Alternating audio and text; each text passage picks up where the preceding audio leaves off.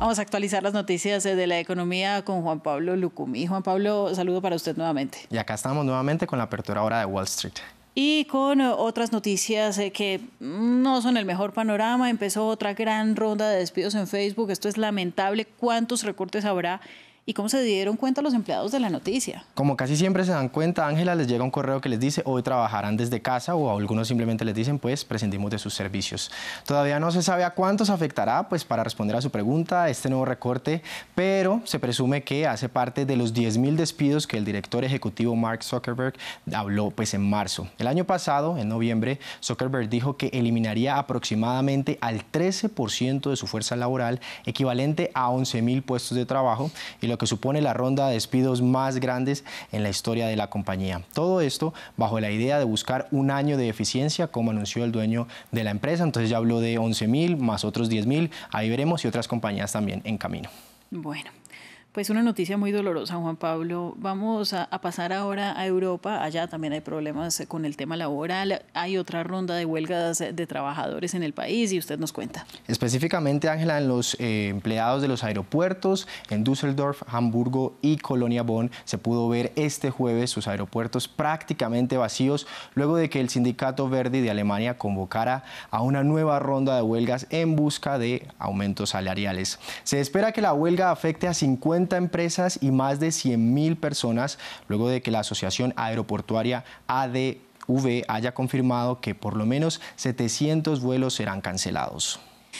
Bueno, el dato de inflación de Alemania ya salió y puede tener eh, impactos sobre estas huelgas que se están realizando. Así que le pido que lo revisemos en esta sección, qué tan altos están los precios en la mayor economía de Europa. Sí, nosotros aquí lo revisamos en su momento cuando salió el dato pues bastante fresco, pero los trabajadores dicen que sus sueldos no alcanzan para sus necesidades básicas teniendo en cuenta el aumento de precios. La inflación entonces en la primera economía europea alcanzó en marzo el 7,4%, un descenso desde el 8,7% de febrero pero todavía muy por encima del objetivo del Banco Central del 2%. Escucharemos a continuación a trabajadores de pues, este sector.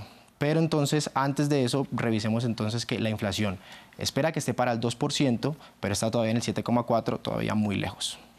Bueno, em, si le parece, como no tenemos mucho tiempo para escuchar los testimonios, le quiero pedir que pasemos a Francia porque también está tomando medidas importantes para estimular la economía, la segunda del continente, así que cuéntenos. El gobierno francés dijo este jueves que planea recortar el gasto público y esperan un crecimiento económico mayor, una reducción de su déficit presupuestario anual y el de su deuda pública, que es una de las más altas de la zona euro. El déficit presupuestario de Francia alcanzó el 4,7% del PIB en 2022 y se pronostica que será más alto este año con un 4,9% del PIB, mientras los planes del ministro de Economía francés rondan el 2,7%. Todavía está muy lejos. Escuchemos lo que dijo el jefe de la cartera económica. El primer pilar es el crecimiento. No hace falta decir que la mejor forma de reducir la relación deuda-PIB es primero aumentar el PIB y por ende aumentar la riqueza nacional. Nunca hay que perder de vista que este objetivo de aumentar la prosperidad de la riqueza nacional es el objetivo principal. Queremos aumentar la riqueza nacional mediante la inversión.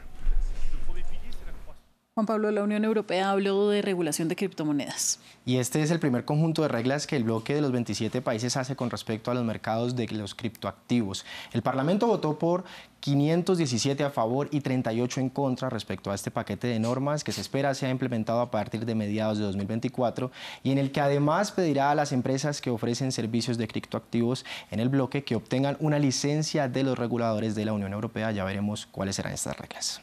Momento de los indicadores. Y los índices bursátiles de Estados Unidos abrieron a la baja el jueves debido a que los decepcionantes resultados de Tesla, ATT y algunos bancos regionales afectaron los sentimientos de los inversores. Recordemos que cualquier rumor en este escenario básicamente daña las decisiones de ellos. Las bolsas en Asia cerraron con ganancias luego de que el Banco Popular de China dijera que con sus decisiones buscarán que las tasas de interés sean apropiadas y que el crédito se mantenga estable y motivadas por el crecimiento de China que se aceleró al 4,5% en el primer trimestre. Las bolsas europeas siguen operando en terreno negativo con los indicadores de Alemania, Francia y Reino Unido con pérdidas menores al 1%.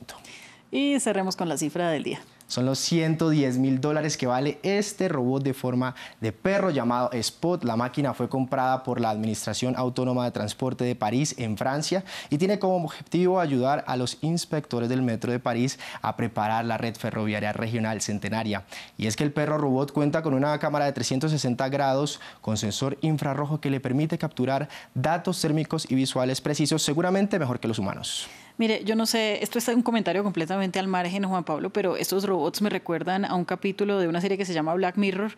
Son igualitos y es apocalíptica. Futurista, completamente. Completamente, pero en el caso de la serie, en un mal sentido, aquí pues esperemos que preste todo el servicio que se necesita. Y que ayude a la comunidad, así es. Juan Pablo, gracias. Nos vemos mañana con mucho más. Claro que sí.